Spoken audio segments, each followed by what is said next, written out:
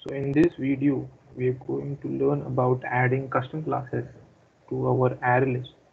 So in this case, we'll make a custom class named employee, uh, which will have the attributes name, ID, and salary, and uh, it will have its getter and setter methods, and we'll implement that in our main class, uh, which will have employee list, which is our array list, and we'll have methods like add employee, remove, remove by ID, search by name, update salary, etc.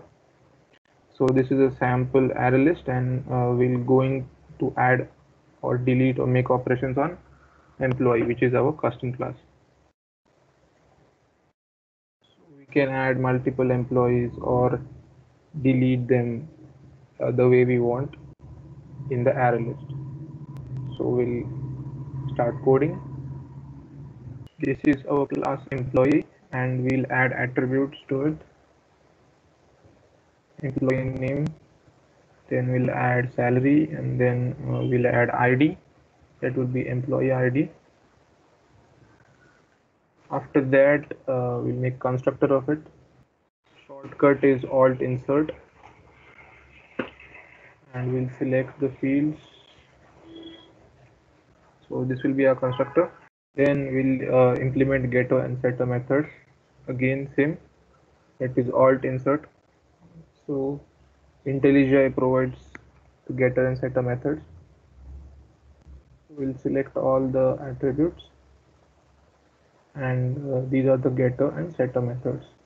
So basically this is our employee class with its name salary and id its constructor and its getter and setter methods to access these fields. So we'll move on to our main class.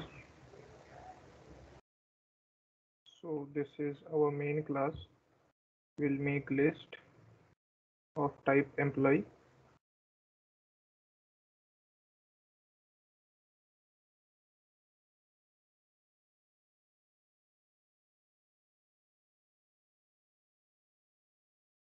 Now we'll write down the method signatures or the methods that uh, we are going to implement.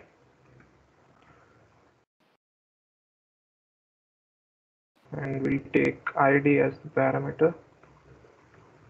Next method would be search employee. This method is uh, search employee by name. So we'll pass name as a parameter to it we'll write down our main method. Object of main. So here we have created object of this class. That is main. And now we'll define the methods.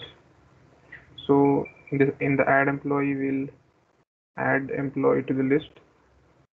That is employee list dot add. We'll take employee the parameter in it to remove the employee by id first we need to find the employee by id and for that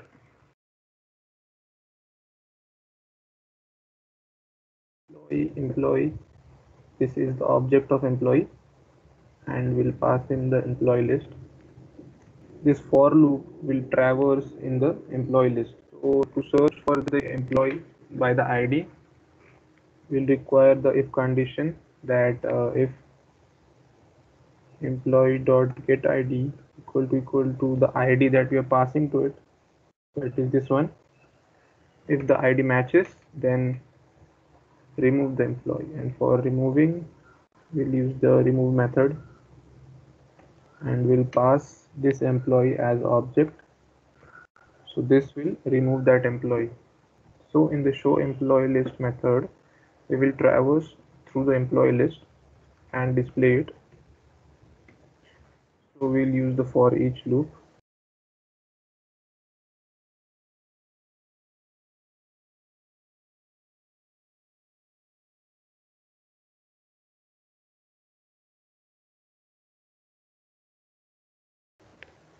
So this will be a simple uh, show employee list method to display the employee list. Here we are traversing through, through the list and getting id name and salary for every employee object. Here we'll define the search employee method. So in this we have to traverse through the list. So similarly we make object of employee and we'll pass on the employee list that we have made here in the top.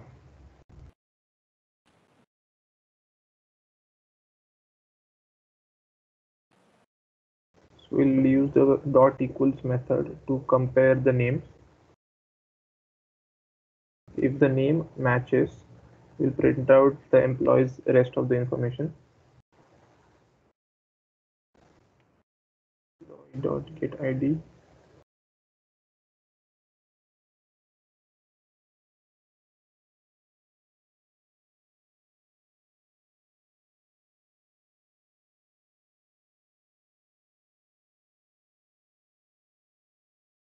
so it will print out the name and then it will print out the information for that matched name.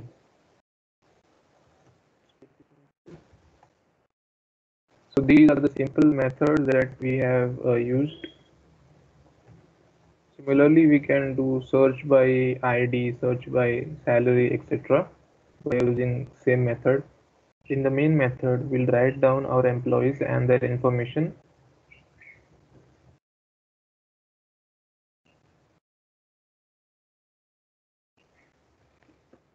and now we'll add them to a list.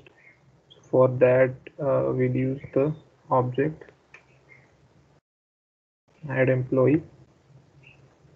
Employee one. Similarly we'll add other employees.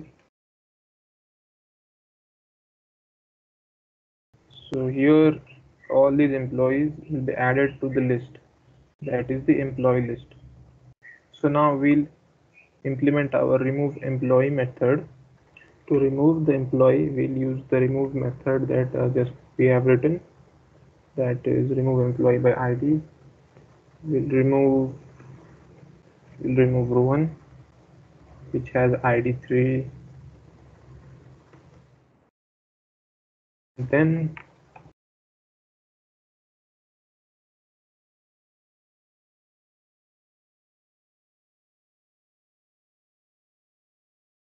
and here we'll search for Raj and Shivam which will give out the information like their ID and salary. Uh, and after removing we'll just print out the list call the show method and we'll run our main method.